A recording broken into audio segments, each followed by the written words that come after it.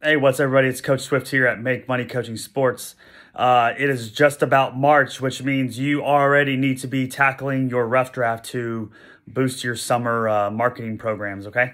Uh, how do I do summer marketing? Okay. Uh, first, you look at everybody you currently train and you talk to all of them about interested uh, friends and family that uh, fit into the type of athletes that you train. Okay. So for sports performance training, you know that everybody, uh, unless they do a summer travel, probably uh, baseball and uh, softball league, are probably uh, not doing any uh, competitive sports. They might do some small summer leagues, but that's about it, right? So you start asking for referrals uh, for one. And then two, you need to start creating your um, your offerings. Okay, if you're a sports performance coach, you have the one you currently do. It's Okay, uh, it covers speed, agility, strength training, uh, injury reduction, all that stuff, right? The total parts of an athlete. And what you can do is you have your program, let's say it's an hour a day, and you offer two to three times a week to people. Can you uh, give a small upgrade add on if somebody wants to do four times per week, but they have to pay for the whole summer up front? Okay. Can you also do where let's say they're coming one to two days a week and you train everything that needs to be for an athlete. But what if you want them to sign up for a third day of the week, but the only focus is on speed, okay? The acceleration, the max velocity, or vertical jump training, okay? Vertical jump, horizontal jump training, okay?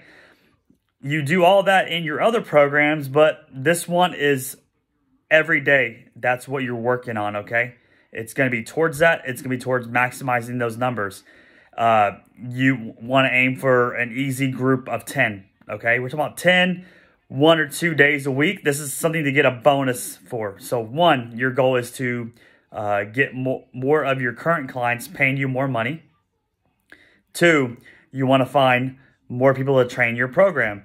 And as strength coaches, obviously, we want them to do the sports performance program but this is something that, you know, summer is six to 12 weeks long. You get them in one to two days a week off this one focus, and then you maximize results, maximize service, and then you compare their results, okay, which will be positive because you're a great trainer like that.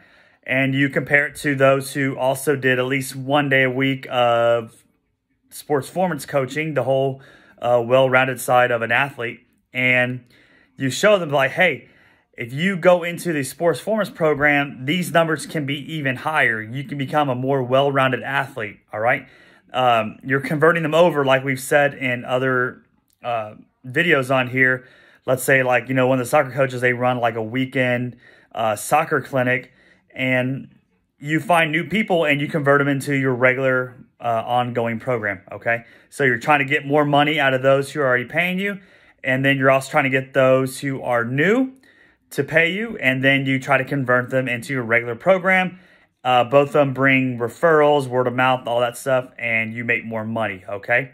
So that's the very basis of it. It's almost March. You need to start getting that in a rough draft by April 1st. You need to start posting about that. You need to have your payments uh, system set up.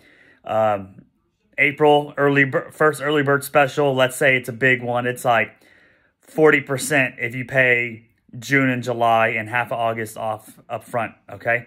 Um, if they go in March, it's 30%, okay?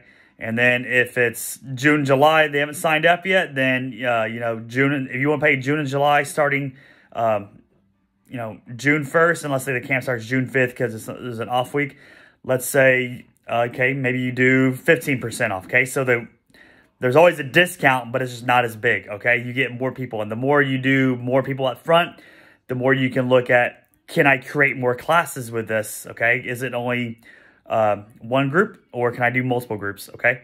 And then you uh, charge obviously a higher rate if they miss all the discounts available. Give discounts for referrals, credits for the, the fall, okay?